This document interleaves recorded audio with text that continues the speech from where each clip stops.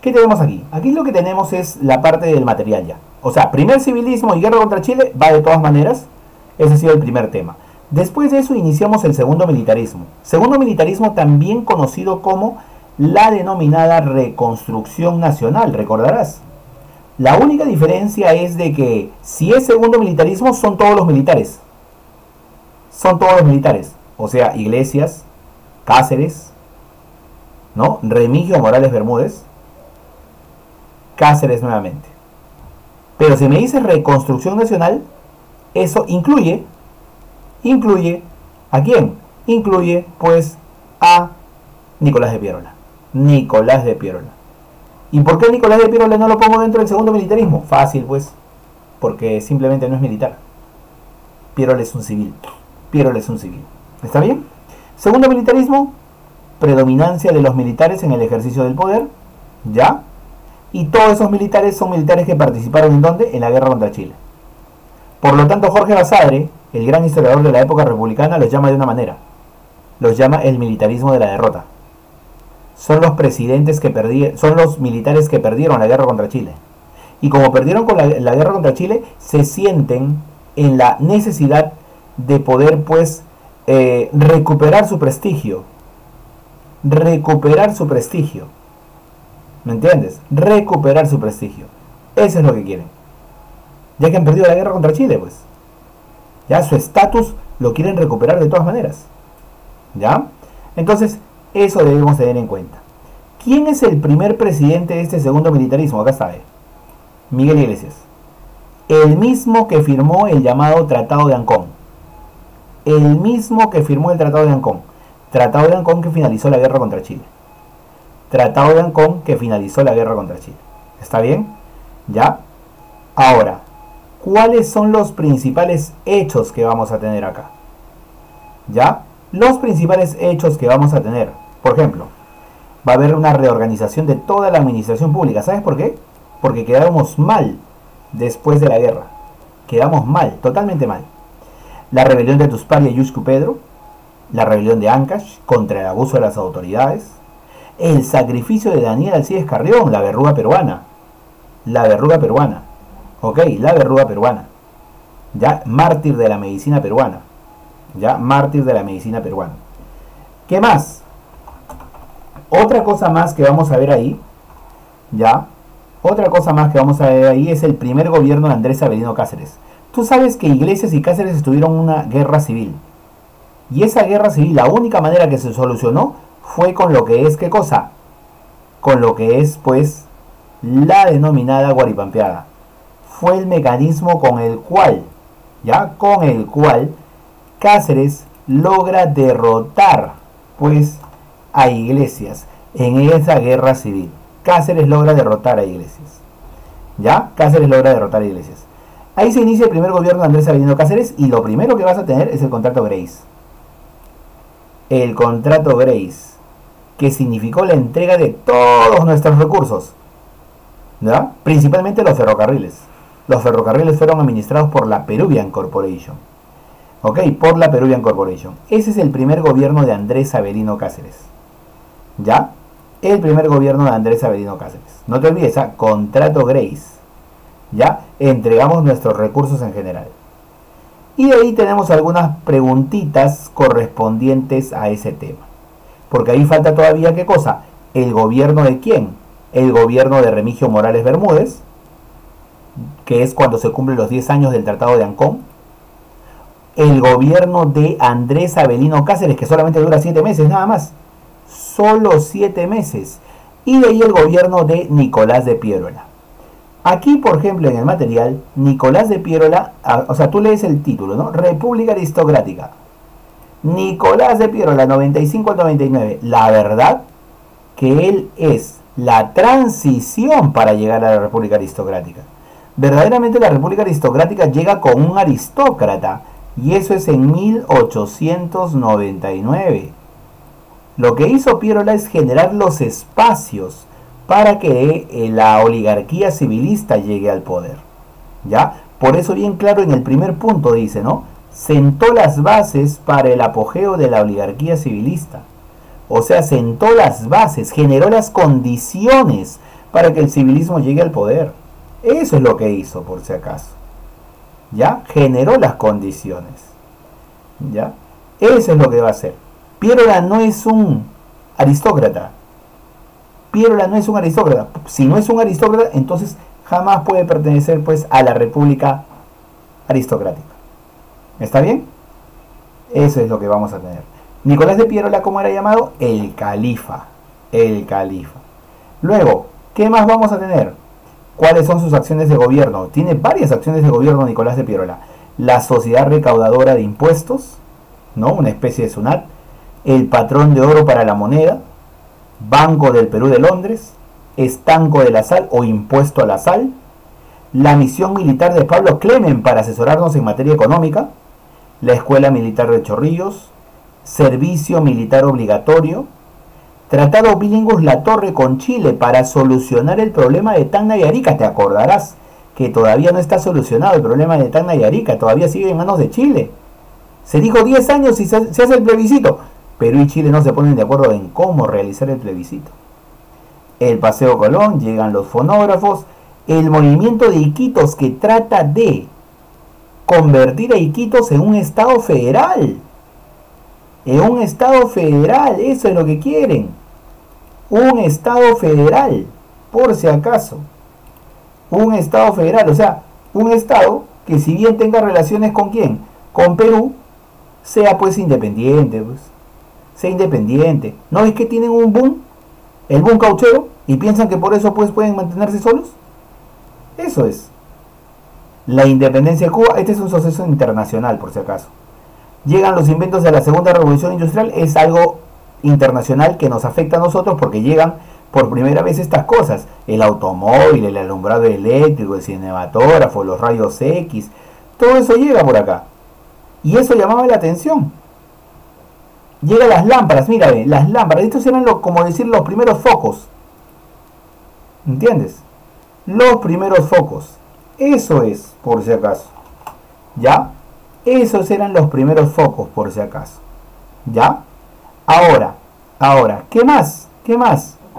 Esa república, y mira, mira, ponen el gobierno de Nicolás de Pierola, mira, ponen el gobierno de Nicolás de Pierola con el título de República Aristocrática y cualquiera cree que ya, pues, o sea, Nicolás de Pierola es de la República Aristocrática. Y no, no, no, no, te, no dejes caer eso. Por eso te hice la aclaración. Y mira cómo hacen acá. República Aristocrática. Ah, o sea, acá verdaderamente eh, recién comienza, pues. Acá verdaderamente recién comienza, por si acaso, aquí. ¿Ya? ¿Cuál es la actividad predominante durante la República Aristocrática? La agroexportación. ¿De qué? Caña de azúcar y algodón. Agroexportación. ¿Qué partido político predomina? El Partido Civil. El Partido Civil. ¿Ya? El Partido Civil. Ya no te olvides que la oligarquía es la que dirige. ¿Ya? No te olvides de eso. Ahora, Vamos con los vamos con los gobernantes. ¿Ya? Vamos con los gobernantes. Gobierno de Eduardo López de Romaña, del 99 a 1903. Eso es, del 99 a 1903. Cuatro años de gobierno. Cuatro años de gobierno. ¿Ya? ¿Ok? Cuatro años de gobierno. Por si acaso. Porque la constitución lo decía así. ¿ah? cuatro años de gobierno para cada presidente. Ahora, ¿qué voy a decir acá? Mira, mira, mira, mira. Llegó al poder representando al Partido Demócrata. Un ratito. El Partido Demócrata y el Partido Civil. Eso falta complementar ahí. Ok. El Partido Civil.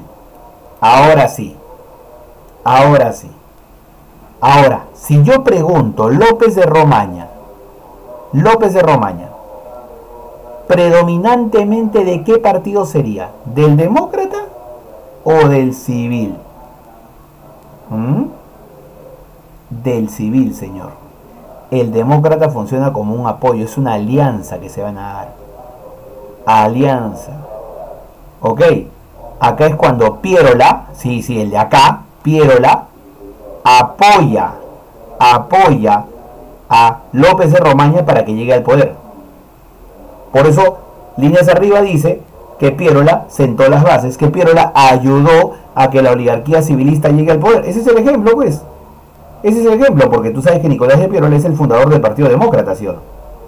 Es fundador del Partido Demócrata. Entonces, ya sabes ahí cuál es la eh, diferencia. ¿Cuál es lo más importante de López de Romaña? Código de Aguas y Minería y Comercio, llega la Cerro de Paz con Mining Company, Tratado Osma Villazón con Bolivia, es lo más importante creo yo, que está en las propias diapositivas que hemos trabajado. Le sigue Manuel Candamo que gobierna un año nada más y es del Partido Civil. Ley de ferrocarriles, murió al poco tiempo. Acá, aparece, por ejemplo, el tranvía eléctrico, que yo te dije, ¿eh? tranvía eléctrico. Y al morir es reemplazado por Serapio Calderón. Por Serapio Calderón, por si acaso. Por Serapio Calderón. Eso es, Serapio Calderón. Y Serapio Calderón es el que convoca elecciones. ¿Y sale elegido quién? José Pardo Barrera, acá está. Del 4 al 8. Otra vez representado por el Partido Civil. Significó la renovación del civilismo. Su padre fue el fundador del partido. Su padre fue el fundador del partido. ¿ah? Su padre es el que fundó el partido. Por si acaso. ¿Qué más? Vamos a tener qué cosa? Que surge el movimiento obrero de carácter anarquista, la Federación de Panaderos Estrella del Perú, la institución más importante de aquellos tiempos. ¿Ya? La educación primaria es gratuita y obligatoria. Escuela Normal de Varones. Hoy, la Universidad de la Cantuta la Escuela de Artes y Oficios, ¿no? El Instituto José Pardo. ¿Ya? Ley que autoriza el ingreso de las mujeres a la universidad por primera vez en la historia. Las mujeres pueden ingresar a la universidad. Por primera vez en la historia. Las mujeres pueden ingresar a la universidad. Antes de eso no. Panteón de los próceres, cripta de los héroes. Cripta de los Héroes es el monumento que está en el cementerio presbítero maestro. La cripta de los héroes de la guerra contra Chile, una construcción impresionante, es una cúpula que sobresale. No sé si has pasado por el tren por ahí, si has visto así el cementerio, la cúpula sobresale. ¿eh? Sobresale por encima de todo el cementerio. Es impresionante y tiene parte subterránea incluso. Proyecto de legislación laboral de Matías Manzanilla, ¿no? El proyecto de legislación laboral, recordarás el proyecto Manzanilla para mejorar la situación de los obreros, hasta que llegue el gobierno de Augusto Beleguía, amigo de José Pardo. Amigo de José Pardo. ¿Ya? Amigo. Ese es el, el desarrollo del partido civil. ¿Por qué? Porque Leguía, sin ser aristócrata, es un comerciante. Sin ser aristócrata, se hace muy amigo del Partido Civil y logra la presidencia con el apoyo de Pardo. ¿Ok? La oposición es del Partido Demócrata, ¿de quién? De Pierola, quienes incluso intentan hacer firmar su renuncia a Leguía y aparece el llamado Día del Carácter, ese intento de hacerle firmar su renuncia a Leguía. ¿Ya? Primer paro general de la Textil Vitarte en 1909, ley de accidentes de trabajo, y si me preguntan la mayor cantidad de problemas limítrofes, ¿con quién? ¿Durante qué gobierno fue? Durante el gobierno de Leguía. Con Bolivia, con Brasil, con Colombia, con Ecuador, con todos tuvimos problemas. ¿Con quiénes arreglamos los problemas? También es importante esa pregunta. Con Bolivia, Tratado Polo Bustamante, se finiquita totalmente la frontera. Con Brasil, Tratado Velar de Río Branco, se finiquita totalmente la frontera. ¿Ok? Con ellos sí arreglamos. Con Colombia todavía no. Con Ecuador tampoco. Tampoco. ¿Ya? Hechos anexos, Jorge Chávez cruza los Alpes, Hayden Bingham descubre Machu Picchu. Al final, cuando termina el gobierno de Leguía, este Leguía hace que el partido civil del cual él era invitado se pelee. Se pelee por él. El partido civil terminó dividiéndose en leales a Leguía y leales a Pardo, a su amigo, que a partir de ese momento era ex amigo. es como que tú haces entrar a una institución a alguien y ese alguien divide a tu institución. Eso es lo que hizo Leguía. ¿Ya? Eso es lo que hizo Leguía. ¿Quién asumió el poder? Guillermo Billinghurst. Este de acá sí es un demócrata, o mejor dicho, del Partido Demócrata. Del Partido Demócrata. Era un pierolista. Derrotó al señor civilista ante las Píllaga. ¿Ya? Era conocido como el pan grande, porque prometía este producto que a nadie le iba a faltar. ¿Ya? Y él se acercó mucho a la población popular, mucho a la clase media, a la clase obrera, Guillermo Billinghurst. ¿Ya? Ocho horas para los trabajadores del puerto del Callao, derecho a huelga y en, para casos extremos, fundación de barrios obreros. Eso es lo que va a haber con Guillermo Billinghurst, imagínate, con Guillermo Billinghurst. ¿Ya? es el más populista de todos los presidentes de la República Aristocrática.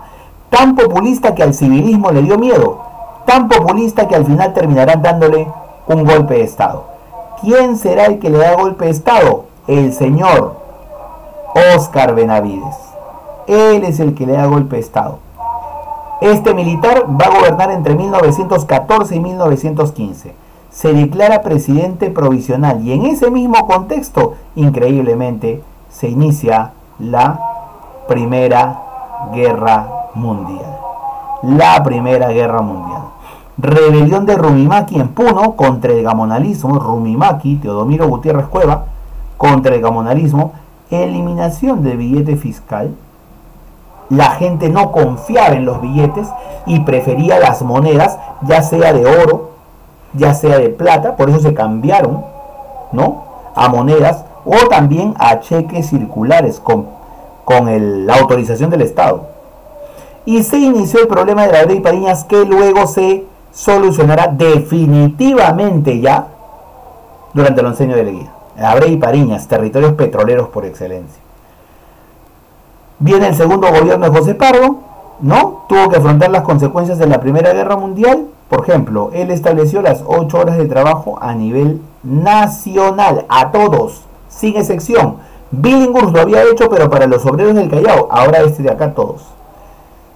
Regulación de trabajos de mujeres y niños, ley del salario dominical, relaciones diplomáticas con Alemania, se rompe esas relaciones porque los alemanes con submarinos hunden una embarcación que llevaba productos peruanos haciendo, haciendo caer toda esa mercadería al mar. Causa una pérdida tremenda. ¿no? La embarcación se llamaba Lorton, ¿no? Y se va a hundir en el mar Cantábrico por un ataque alemán, de un submarino alemán. Se establece la libertad de cultos, cualquiera puede tener cualquier religión. Se derrota a Rumimaki, el de la rebelión de Puno. Nace la Federación de Trabajadores del Perú. Lo más importante, las ocho horas de trabajo a nivel nacional, pues de hecho, con José Pardo. Tras el término del gobierno de José Pardo, convoca elecciones y, sale, y saldrá elegido quién?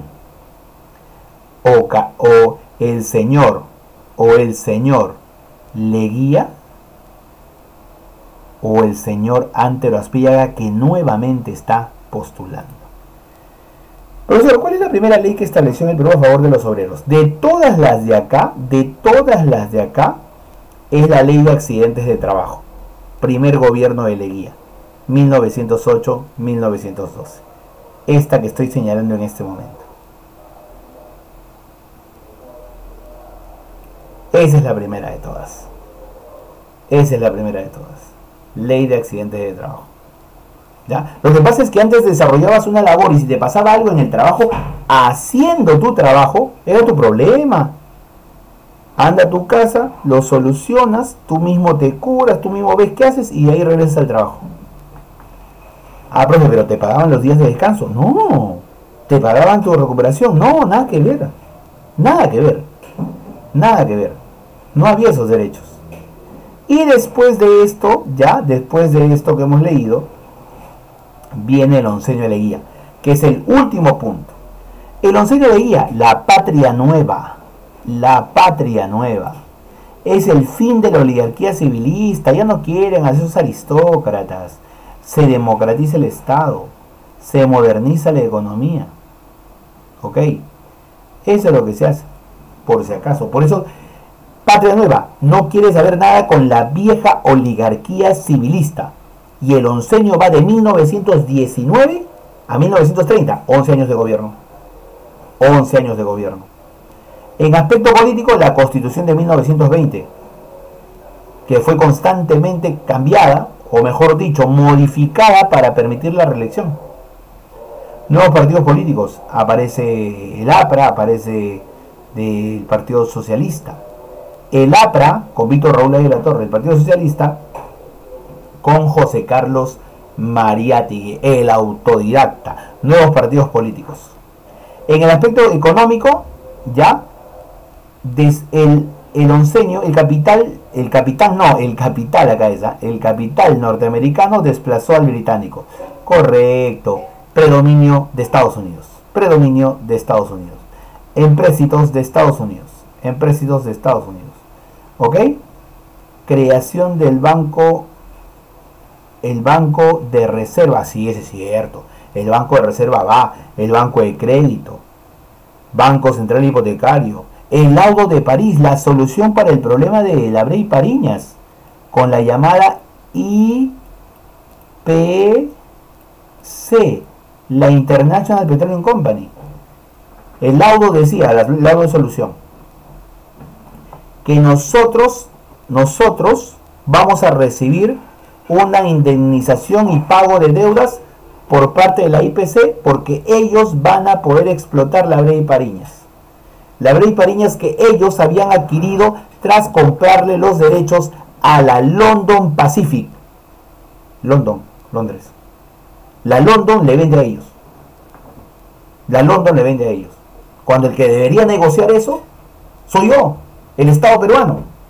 Por eso nos fuimos, y esto lo viste durante la República Aristocrática, nos fuimos a un tribunal internacional para que ese tribunal internacional decida. El tribunal internacional ha decidido, la IPC me va a pagar, pero la IPC igual se va a quedar con esa zona. Es como, a ver, para explicarlo de manera simple, es como que tú me alquiles un piso de tu casa, ¿me entiendes? Quedamos todo, yo estoy viviendo un mes y al siguiente mes lo alquilo pero el trato es conmigo, con el inquilino, no con el dueño. Ese es lo que sucedió con la Brey Pariñas. ¿Qué más? Vamos a tener estancos, estancos de, la, de naipes, alcohol, fósforos, estancos, que no es otra cosa más que impuestos. Problemas limítrofes con Colombia, que lo arreglamos con el Tratado Salomón Lozano, pero lamentablemente cedimos una parte de nuestro territorio. El trapecio amazónico lo cedimos. Y con Chile, el Tratado de Lima, también conocido como Ralagamio Figueroa Larraín. Tacna retorna definitivamente al Perú y Arica se queda definitivamente Chile. Así es, por si acaso. ¿Ya? Así es. Ecuador. Se firma la fórmula mixta. ¿Qué es eso, la fórmula mixta? Los dos países decidirán cuál es la frontera, punto, mixta. Pero Defensa nace el Centro de Instrucción de Las Palmas para la formación de aviadores. Obras públicas, aparte del centenario de la independencia, la ley de conscripción vial, el trabajo obligatorio que tenían que hacer todos para poder construir caminos y carreteras, centenario de la independencia y de la batalla de Ayacucho, estatua San Martín, eh, inauguración de movimientos, no, monumentos, monumentos, Petitor y Sucre. Museo Arqueológico, la Avenida Leguía, ¿ya? La Avenida Leguía, Ferrocarril Chimbote, Callejón de Guaylas, se reconoce a las comunidades indígenas. Este es importante también. Ya está. Hay un reconocimiento de esas comunidades indígenas. Ya, esa es una fotografía de la época. Ahí está, la, lo que es Santa Beatriz. El crack de la Bolsa de Valores de Nueva York. En educación, la reforma universitaria, que no es tan conocida, pero la reforma universitaria fue interesante por el hecho de que, cátedra libre, tú decides con qué profesor ir a tomar tus clases. ¿Ya? Cátedra libre. Ya, el crack del 29 que afectó tremendamente nuestra economía y obligó a qué cosa? Obligó pues a votar gente que trabaje en el Estado para conseguir recursos. ¿Qué más? La economía... Ah, el capital norteamericano desplaza al capital inglés. Y no te olvides la misión que vino, la misión Cumberland. La misión Cumberland para asesorarnos en materia económica. para asesorarnos en materia económica. Y en medio de la severa crisis social se produce la desarticulación de la clase dominante y el descontento del pueblo, rechazando la oligarquía y el capital extranjero. El militar Luis Sánchez Cerro depone mediante un golpe de Estado a Leguía, con el apoyo de los latifundistas del sur. Ya está. Eso es lo que vamos a tener en el fin de la dictadura. ¿Qué tipo de dictadura es la de Leguía? Dictadura civil. Dictadura civil. Ese es el tipo de dictadura que hay. Dictadura civil. No militar, civil. La revolución de Arequipa hasta llegar a lo que es el tercer militarismo a la democracia, a la primavera democrática. O sea, lo que sigue es el tercer militarismo con Luis Miguel Sánchez Cerro. Luis Miguel Sánchez Cerro.